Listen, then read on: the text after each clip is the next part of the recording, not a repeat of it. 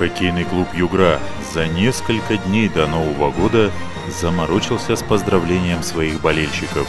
Под натиском праздничной суматохи хоккейные джедаи объединились на стороне позитива с призывом не заморачиваться. Don't worry, be happy.